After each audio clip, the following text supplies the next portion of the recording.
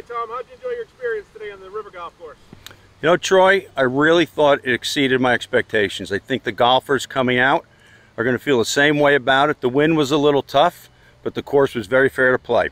Great. How about you, Vicki?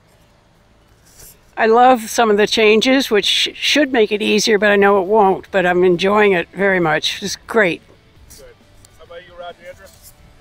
I think it's great. I think Brother Kruger and the crew did a wonderful job, and I'm very excited. Great. Deb Fletcher?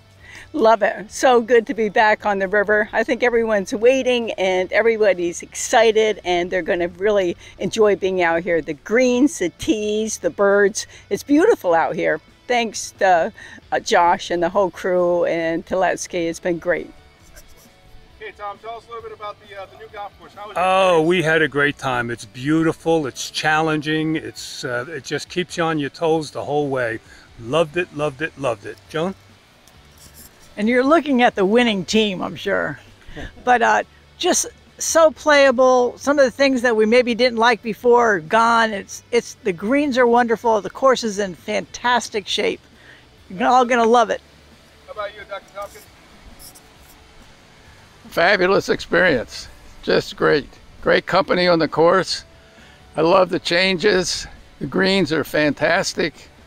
Just everything is wonderful. How about you, Michael Gibson?